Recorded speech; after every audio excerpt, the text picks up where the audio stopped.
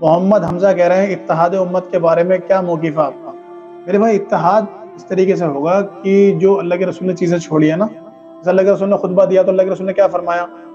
कि मैं दो चीज़ें छोड़ के जा रहा हूँ, कुरान, हदीस। ठीक है? एक में अहलबैत का ज़िक्र भी है, लेकिन उनके साथ उसने सलूक करने का मामला है। क्योंकि अहलबैत नबी नहीं है कि उनसे गलती नहीं हो सकती। बहुत से मामले में हसद अली से भी गलती लगी है इश्तादी गलती हुई है। जैसे उन्होंने मुर्तदीन को जलवाया था तो इब्न अब्बास ने उनको समझाया कि अल्लाह के रसूल ने फरमाया कि जलाना अल्लाह का खासियत है, वो अपने बंदों को सजा दे सकता है जलाने की। इंसान इंसान को नहीं जला सकता तो फिर उन्होंने मुर्तदीन को कत्ल करवाया था, ठीक है?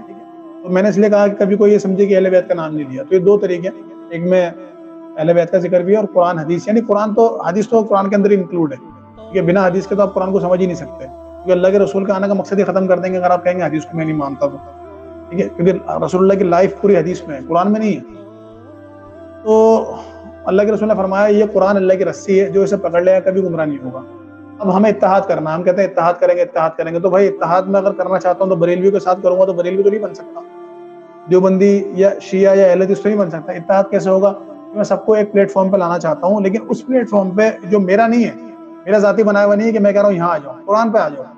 अल्लाह की रस्सी को पकड़ लेंगे। जब अल्लाह की रस्सी को मजबूती से पकड़ेंगे तो हम सब एक प्लेटफॉर्म पर आ जाएँगे।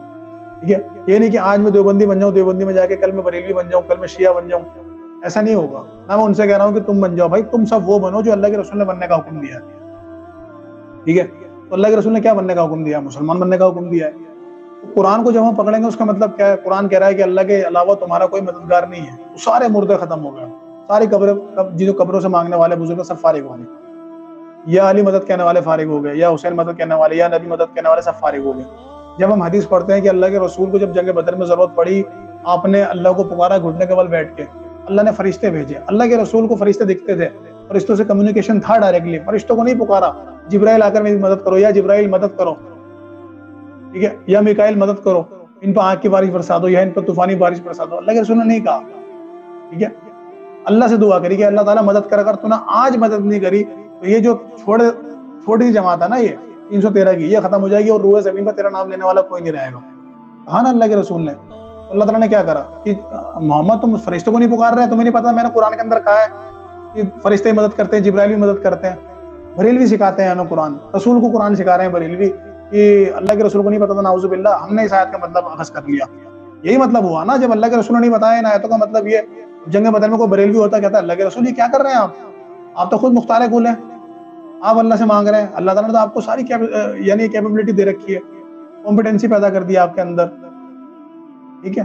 तो जब हम ये बातें बताते हैं बरेलवियों को तो जो समझदार है उनकी समझ में आती है तो कुछ बेचारे प्रेशर में रहते हैं कि यार हम हो जाएँगे तो घर वाले बाहर निकाल देंगे। ठीक है? या कुछ सरकश होते हैं हट धर्म। कि नहीं, बात सही लेकिन मानूँगा नहीं कि मेरे फिरके वालों ने क्यों ये बात नहीं कही? हमारे मौलवी पागल है, क्या फारिग है, क्या आठ आठ साल लगा के आ रहे हैं? ठीक है? तो आठ साल अपने दिख रहे हैं, देवबंदियों के आठ साल नहीं दिखते, शियों के नहीं दिखते। सत्रह अठारह साल अपने दिख रहे हैं खाली। तो ये है मसला। तो इत्तेहाद हम इसी तरीके से कर सकते हैं आओ उस चीज़ की तरफ़ जो अल्लाह और रसूल ने हमें दी है। जो कुरान कहता है ना, आओ उस चीज़ की तरफ़ जो हमें, तुम्हें कॉमन है तो कॉमन क्या है? अल्लाह ने क्या कॉमन चीज़ दी है हमें, मुसलमानों को? कुरान हदीस दिया है। बस उस पर आ जाए, बात खत्म हो गई। लेकिन अब बरेलवी कहे कि नहीं, मेरी किताबों पर मेरे आला हज़रत को मानो। ये वो मुजद्दिद थे। देवबंदी कह रहे नहीं, हमारे हज़रत को मानो, अशरफ थानी मुजद्दिद थे। या कोई और कह रहा है, वो मुजद्दिद थे। तो भाई सबके मुजद्दिद को मानूँगा तो मैं रसूल को मानूँगा। कभी कह रहे हैं, अबू हनीफा को मान लो, इमाम आज़म थे। भाई, रसूल क्या थे फिर? रसूल का दीन तुमने खत्म कर दिया, सौ साल के अंदर अंदर समेट के रख दिया, साहब तक। उसके बाद से तुमने अबू हनीफा से दीन चलाया और क्यामत तक चला रहे हो। यहाँ तक कि ईसा सलाम को भी लपेट दिया नाउजुबिल्ला की, वो भी आके अनफियत की दावत देंगे।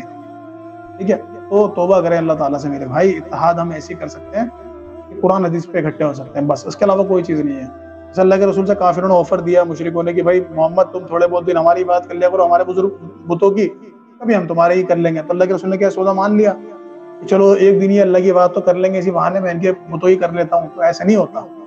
अच्छे फलों को सड़े हुए फलों से दूर रखना पड़ता है। जब भी बचे कुछ फल बचाए जा सकते हैं। कड़ों के साथ मिला दोगे तो वो भी सड़ जाएँगे, ठीक है? मैंने आपको बता दिया इतिहाद का तरीका क्या है।